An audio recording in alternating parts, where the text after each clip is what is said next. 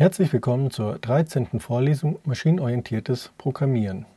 Wir beschäftigen uns heute mit der modularen Programmierung, schauen uns erstmal kurz an, was ein Modul in C ist, gehen dann auf den sogenannten Präprozessor, der vor dem eigentlichen Übersetzen ausgeführt wird, ein und schauen uns an, wie Header-Dateien in C ausschauen. Unter einem Modul versteht man in C eine Datei, die aus einer Reihe von Deklarationen und Definitionen bunt gemischt besteht. Ein Modul ist also ein C-Quelltext. Mehrere Module, ich habe das mal als Beispiel hier gezeigt, die Module Eingabe.c, Ausgabe.c und Main.c. Mehrere Module können in C ein Programm ausmachen. Die Module werden dann getrennt übersetzt. Es entstehen sogenannte Objektdateien zu jedem Modul und der Linker bindet die Module zusammen mit der Laufzeitbibliothek zu einem Programm, zu einem ausführbaren Programm-Image zusammen. Wir werden am Ende der Vorlesung nochmal auf die Vor- und Nachteile einer modularisierten Programmierung eingehen. Um modularisiert in C programmieren zu können, brauchen wir den sogenannten Präprozessor. Der Präprozessor bereitet den Quelltext für den Compiler vor. Dazu kopiert er Header-Dateien, die wir mit include einbinden können und erzeugt eine sogenannte included-Datei, hier als main.i dargestellt. Während der Präprozessor läuft, werden die Kommentare entfernt und der Präprozessor ermöglicht bedingte Programmierung und sogenannte Makros. Die Anweisungen vom Präprozessor sind Anweisungen, die der C-Compiler nicht verstehen kann. Deswegen werden alle Präprozessor-Anweisungen beim Erzeugen dieser main.i-Datei entfernt. In der Regel können Sie mit jedem C-Compiler den Präprozessor auch einzeln ausführen. Ich werde Ihnen nachher zeigen, wie das in der Virtual C IDE funktioniert. Tatsächlich wird heute selten während dem Übersetzen noch eine .i-Datei erzeugt. Meistens läuft der Präprozessor im Hintergrund während der Übersetzung und die Ergebnisse des Präprozessors werden direkt im Speicher gehalten. Wie sehen Anweisungen für den Präprozessor aus?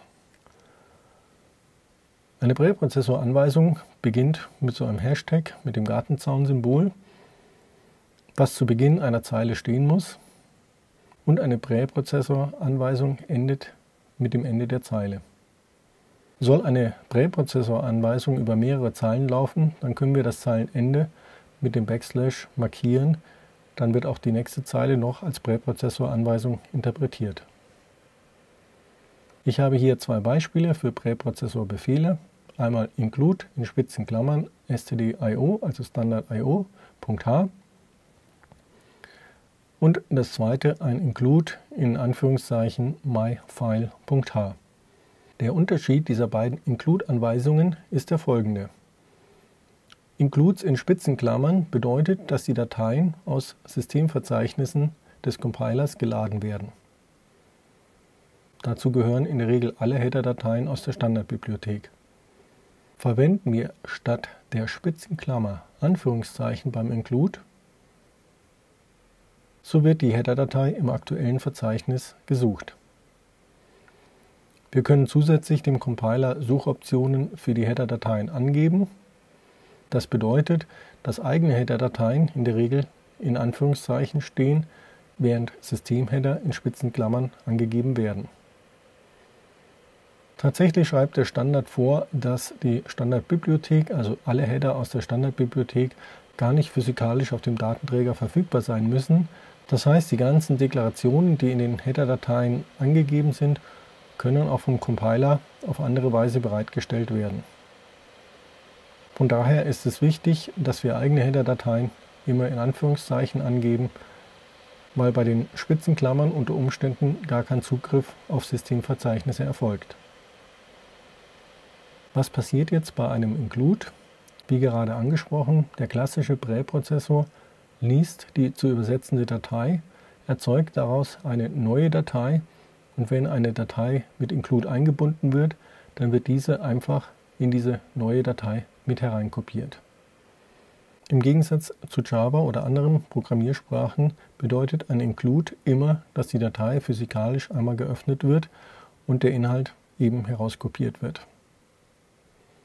Des Weiteren wird der Präprozessor Präprozessoranweisungen interpretieren, das heißt die erzeugte Datei, die aus dem Einbinden der verschiedenen Header-Dateien und dem Einlesen der zu übersetzenden Datei entsteht, wird später keine Präprozessoranweisung enthalten.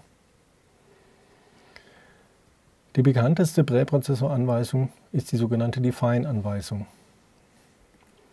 Hier haben Sie ganz am Anfang im ersten Beispiel kennengelernt, um Konstanten zu definieren. Im Folgenden gehen wir näher auf die Funktionsweise von Define ein. Hier mal dargestellt zwei verschiedene Arten von Defines. Das erste ist eine klassische Definition einer Konstanten, Define Max Array Size 100. Und das zweite ist ein Define, was einer Funktion ähnelt. Es ist ein sogenanntes parametrisiertes Makro. In dem Makro stehen die Parameter a und b als sogenannte Platzhalter.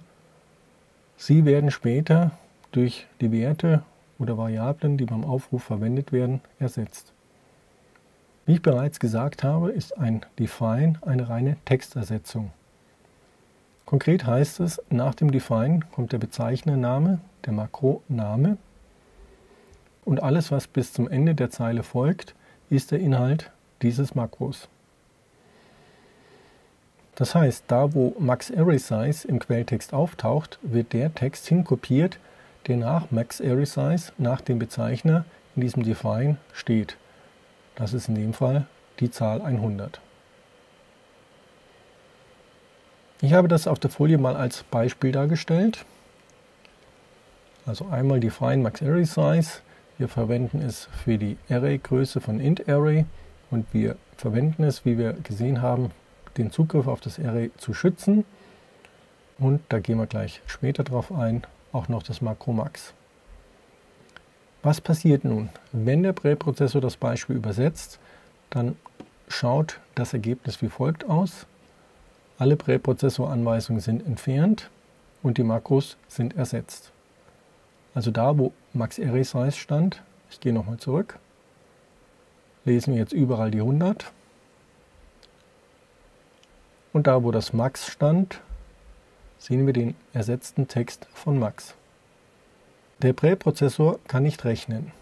Das heißt, das Ergebnis der Ersetzung ist immer eine reine Textersetzung. Wir sehen also hier den Ausdruck, der hinter Max steht. Das ist, falls a größer b, dann ist das Ergebnis a, ansonsten b. Dieser Ausdruck wird parametrisiert mit 10 und 5 und genau so beim Präprozessordurchgang in den Text hineingeschrieben.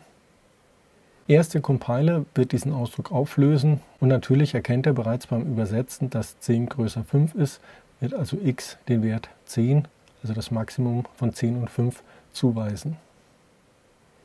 Das Beispiel der Max-Makro, also das parametrisierte Define, habe ich genauso, wie es da steht, aus dem ISO-C-Standard übernommen.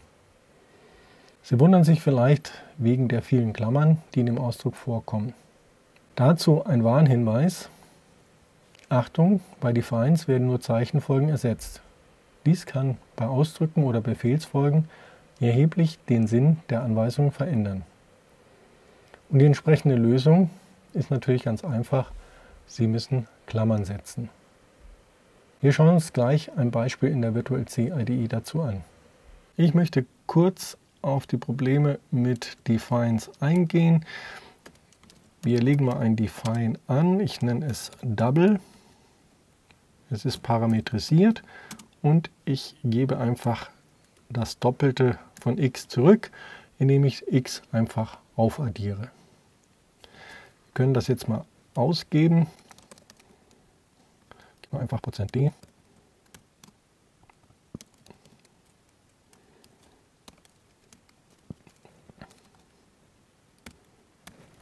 So, das Doppelte von 10, wir können es ausprobieren und wir kriegen die 20. So, ich möchte das jetzt mal 4 nehmen. Ich nenne das jetzt mal Quad. Also nicht Double, sondern Quad. Und wir sagen jetzt einfach, Naja, mal 2 haben wir schon genommen. Das heißt, ich nehme jetzt einfach 2 mal Double und übergeben das y. Das können wir auch mal ausgeben.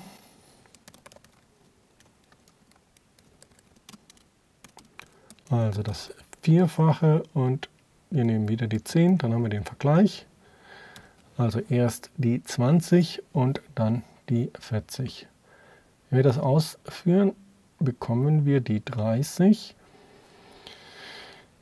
Ja, und das ist das Problem der Textersetzung. Wir können in der Virtual C IDE mal anschauen, was denn die Include-Datei ist. Ich kann den Präprozessor ausführen und wir sehen jetzt im Message-Fenster die Ausgabe dieser .i-Datei und wir sehen unser Main-Programm und was wir auch sehen, ist alles, was in standard.io.h drin steht. Das wird jetzt quasi einfach hier rein kopiert, also das Include durchgeführt. Und wir sehen jetzt quasi, ab hier geht es los. Die Kommentare sind entfernt, deswegen auch einige Leerzeilen. Und dann kommen alle Deklarationen aus standard.io.h und ganz am Ende kommt unser Programm. Und wir sehen jetzt, was das Define Double und was das Define Quad gemacht hat. Double ist eben das x plus x, 10 plus 10. Und wir haben das Quad, wir haben 2 mal das x plus x.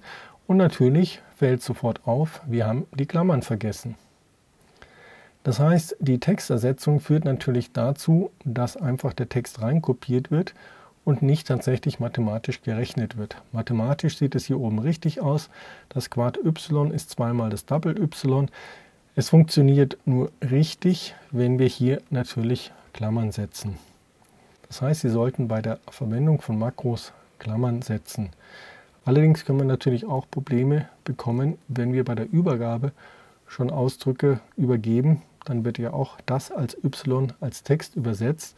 Das heißt, wir sollten auch dafür sorgen, dass wir nicht nur den Makro an sich klammern, sondern auch die Parameter klammern. Um sicher zu gehen, dass bei der Textersetzung kein Fehler auftritt. Wir können das jetzt nochmal anschauen. Auch hier würde ich Klammern setzen. Das y ist jetzt bereits geklammert, da brauchen wir keine zusätzliche Klammer. Jetzt sind wir auf der sicheren Seite und unser Makro tut das, was er soll. Makros sind Textersetzung. Noch einmal das Beispiel unserer Max Array Size. Und ich mache den größten Fehler, den man immer wieder sieht, der beim Präprozessor gemacht wird. Das heißt, ich lege mir jetzt hier ein Array an. Und wir initialisieren das Ganze mit 0. Wir übersetzen das Ganze und wir kriegen jede Menge Fehler. Und ich fange beim ersten an. Also hier gibt es einen Fehler. Klammer zu, expected und nicht der Strichpunkt. So ein Fehler ist wahnsinnig schwer zu finden. Wir wissen natürlich jetzt, was passiert. Wenn wir uns anschauen, was der Präprozessor ausspuckt, dann sehen wir in unserem Array wird die 100 ersetzt und natürlich der Strichpunkt. Der Präprozessor ersetzt alles, was nach dem Bezeichner kommt. Das heißt, auch der Strichpunkt wird hier übersetzt. Also hier nochmal der Hinweis, eine Präprozessoranweisung sollte natürlich, wenn sie als Ausdruck genutzt wird, nie einen Strichpunkt enthalten. Und es funktioniert wieder. Fehlermeldungen, die in Defined sind, sind wahnsinnig schwer zu finden, weil sie natürlich in Zeilen auftreten. Wenn Sie diese Zeile anschauen, in der der Fehler auftritt, dann ist das einfach korrekt. Das heißt, hier drauf zu kommen, dass der Fehler in dem Define liegt, das ist nicht ganz trivial. Die Zeile schaut richtig aus. Man sucht davor, danach nach potenziellen Fehlern. Das ist also eine sehr große Gefahr und deswegen war bei uns in der Firma das Verwenden von Defines auf das Nötigste zu beschränken. Und das Nötigste sind eben Konstanten beispielsweise anlegen und notfalls mal ein Makro, der eben eine sehr effiziente Funktion darstellt.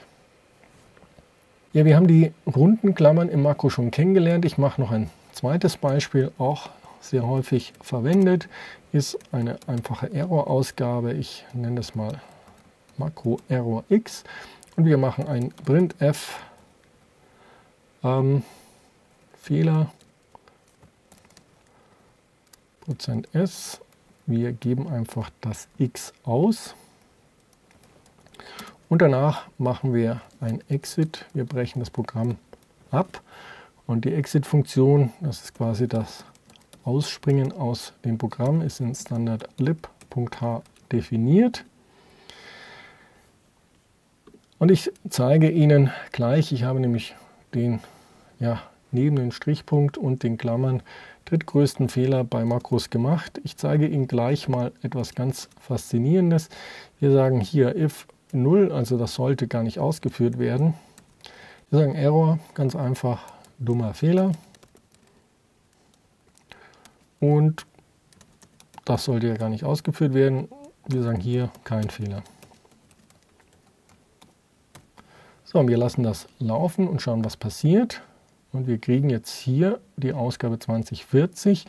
Wir kriegen aber nicht keinen Fehler, das hätte ich jetzt erwartet, weil if 0 Error wird nicht ausgeführt. Wir sollten also eigentlich keinen Fehler bekommen. Wir sehen aber, dass wir den Exit-Code 3 bekommen. Das heißt, unser Exit wird ausgeführt und wir können wieder anschauen, was der Präprozessor ausspuckt. Der Präprozessor sagt hier if 0 printf Fehler, dummer Fehler, Strichpunkt Exit 3. Dann haben wir Strichpunkt. Okay, wir haben hier einen Strichpunkt zu viel. Printf Fehler kein Fehler, Exit 3. Das heißt, das gleiche, was für runde Klammern gilt, gilt natürlich auch bei Anweisungen für geschweifte Klammern. Ein Makro, der Anweisungen enthält, muss diese unbedingt in geschweiften Klammern schachteln. Also Sie ahnen wahrscheinlich schon, was passiert ist. Das if 0 würde nicht ausgeführt, deswegen wurde Fehler auch nicht ausgegeben, aber ohne die geschweiften Klammern wurde auf jeden Fall Exit 3 ausgeführt und unser Programm ist auf jeden Fall rausgesprungen ohne die erwartete Funktion. Wenn wir es jetzt starten, kommt eben Fehler, kein Fehler. Kommen wir zu den weiteren Präprozessoranweisungen. Die IFDEF-Anweisung bedeutet bedingte Übersetzung. Das heißt, sie prüft, ob ein Makro definiert ist. Und falls das Makro definiert ist, dann wird der nachfolgende Text bis zum EndIf oder einem ElseIf oder einem Else in den Quelltext hinein kopiert, ansonsten wird er übersprungen. Das heißt, der Programmtext zwischen einem if-def und endif wird nur übersetzt, wenn das define gesetzt ist. Hier mal das Beispiel define debug. Wir haben also ein define debug gesetzt. if-def debug printf Programm start. Wenn wir das Programm so übersetzen, dann wird Programm start mit printf ausgegeben. Möchten wir nicht, dass eine Debug-Ausgabe erfolgt, dann können wir das Define Debug entfernen. Wir müssen den Quelltext nicht weiter ändern. Es wird automatisch ausgeblendet, alles was zwischen if def debug und einem entsprechenden endif steht. In der Praxis werden wir das Define Debug nicht zu Beginn des Quelltextes definieren. Wir können dem Compiler über Kommandozeilenoptionen angeben, welche Defines gesetzt werden sollen und wir können sogar Werte für die Defines angeben. Die bedingte Übersetzung ist ganz typisch, wenn Sie plattformübergreifend programmieren. Wollen Sie ein Programm, was unter Windows, Mac OS oder Linux laufen kann, dann sind immer wieder betriebssystemspezifische Funktionen erforderlich. Um nicht drei verschiedene Programme schreiben zu müssen, schreiben Sie ein Programm, das in Teilen bedingt übersetzt wird.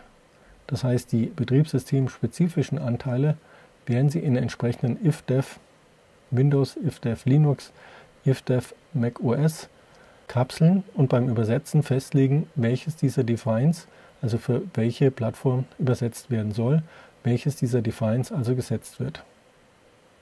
Tatsächlich sind neben dem Setzen von Defines die ifdev-Anweisung und entsprechende Derivate davon die am häufigsten verwendeten Präprozessoranweisungen. Ich habe noch eine Übersicht der Präprozessoranweisungen. ifdev ist das if defined. Wir können das umdrehen, if ndef, falls nicht definiert. Also die logische Umkehrung zu if def. Wir können ein einfaches Präprozessor if verwenden. Dann wird ein folgender konstanter Ausdruck überprüft, ob der Wert ungleich 0 ist. Oder if-Anweisungen allgemein enden alle mit einem endif. Wir können einen Alternativzweig mit einem else definieren oder wir können mit einem elif eine weitere Bedingung prüfen und sparen uns ein zusätzliches endif, was wir bei else und if benötigen würden. Und zuletzt können wir mit undef ein bereits definiertes define wieder aufheben. Der Vorteil von undef ist, dass undef keine Warnung ausgibt, wenn das define davor nicht gesetzt war, während die Definition eines bereits definierten defines zu einer Warnung des Compilers führt. Ich kann also verhindern, dass das neue Setzen eines Defines eine Warnung wirft, indem ich es vorher mit undef lösche. Kommentare dürfen in C nicht geschachtelt werden. Das heißt, wenn ich Quelltext auskommentiere, habe ich häufig das Problem, dass entweder der Text selber Kommentare enthält oder dass ich vielleicht geschachtelt auskommentieren möchte. Das geht mit den Standard C-Kommentaren nicht. Sie können aber mit der Präprozessoranweisung if 0 Programmtext auskommentieren und das wird sehr häufig genutzt, weil es natürlich auch geschachtelt werden kann. Es gibt noch einen Operator des Präprozessors, das ist defined. Wir können mit if defined das gleiche abfragen wie ein if def. Das heißt, defined prüft, ob ein nachfolgender Bezeichner als define definiert wurde. Außerdem definiert der Präprozessor einige Konstanten, wie zum Beispiel File für den Dateinamen oder die Zahlennummer. Damit lassen sich sehr schön mit dem Präprozessor Fehlerausgaben während dem Übersetzen generieren. Wie zum Beispiel die Frage, ob eine Unterstützung für ein bestimmtes Betriebssystem vorgesehen ist oder nicht. Auf diese Details möchte ich im Rahmen der Vorlesung gar nicht genauer eingehen. Bei Interesse finden Sie diese Präprozessor-Konstanten im Kapitel 5.2 im Buch. Kriegen noch eine Warnung, ähm, dass natürlich hier if 0 immer false ist. Das heißt, das wird natürlich nie ausgeführt. Was wir jetzt heute schon kennengelernt haben, wir können natürlich sowas auskommentieren mit if 0. Und jetzt hat ja unser Programm keinen Fehler mehr. Dann passt das Ganze ja, jetzt wird kein Fehler ausgegeben und unser Programm springt mit Exit 3 heraus. Im zweiten Video schauen wir uns den Präprozessor noch etwas genauer an und erfahren, wie wir Header-Dateien realisieren können. Bis gleich.